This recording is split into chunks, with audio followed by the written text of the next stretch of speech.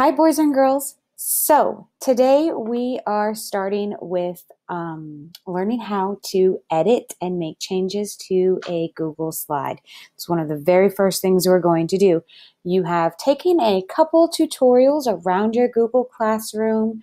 You've learned a little bit about working with computers. You've gotten to watch a YouTube video so far, maybe in your classroom. Now you are going to do a little review work with a very easy worksheet, and then you're going to get to make some edits. Now, what we're going to do first is you're going to watch me do the whole thing like we're in our classroom. We're just going to pretend it's under our Elmo screen and it's up on the board.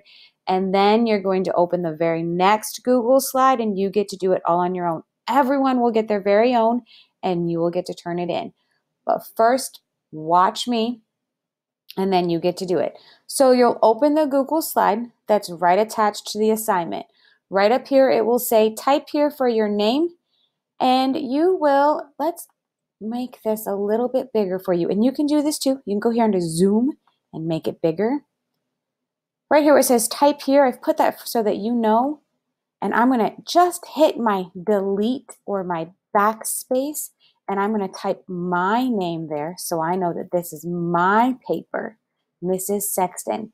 And right here for the date, I'm going to delete or backspace. And remember, we type our entire date. We no longer type the digital date because we are big first graders. And today, I believe we are putting this assignment in for Monday, our very first day to learn how to do a Google slide, which is Monday, April 20th, comma, 2020. And we cannot abbreviate like we did when it was 2019. We have to type out all four of those digits, 2020. Now, I can use my cursor arrows and go down or use my mouse and scroll down. First thing we're going to do is we're going to look at the directions on the side of this.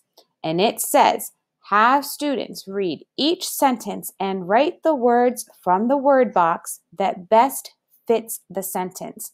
So first I'm going to read those words.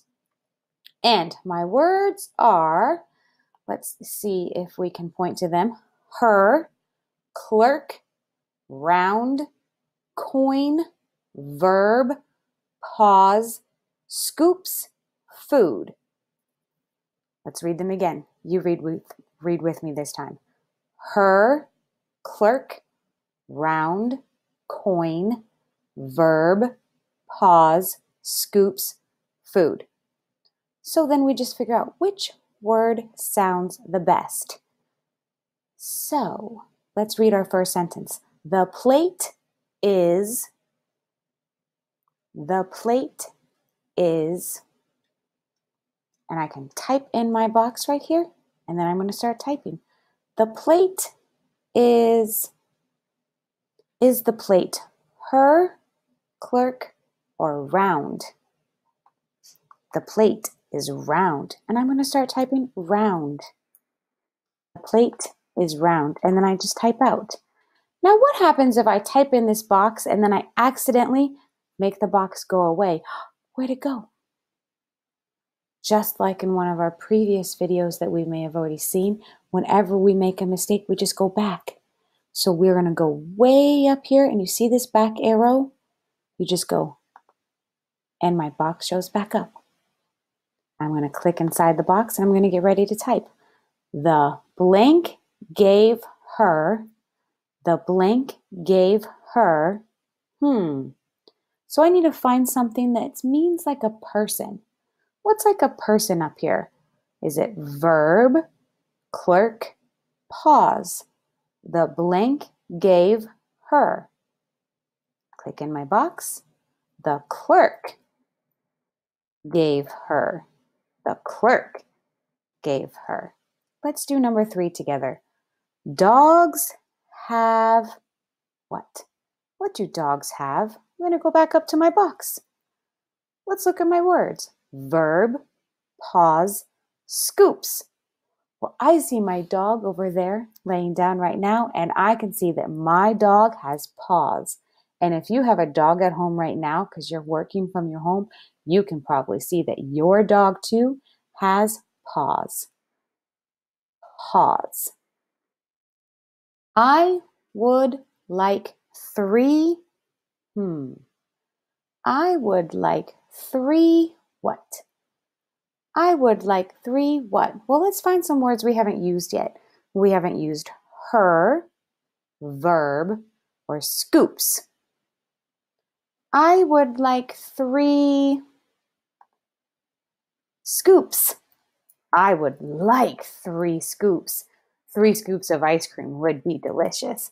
I finished the first slide and then I can just go to the next one. Now, the really fun thing about Google Slides is you don't have to save it all. Right up here, it tells me that all changes have already been saved, so I don't have to do anything. I'm going to read these sentences for you, and then you are going to be able to do the rest of it on your own.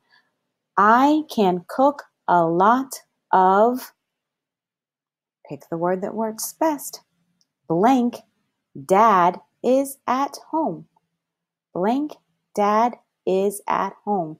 Now remember, this word is going to start a sentence, so you will have to change one of these letters from a lowercase letter to a capital letter. I will flip a. I will flip a. What's something in that box you can flip? Is this word a? Is this word a? What are some words we've been learning about? What types of speech have we been learning about? What can you remember? Let me read these words for you one more time before I post this assignment for you.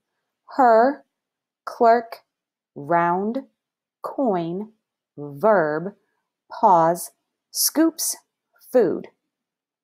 Okay, if you have any questions, just type them out for me and I'll be here to help you. Bye bye, boys and girls.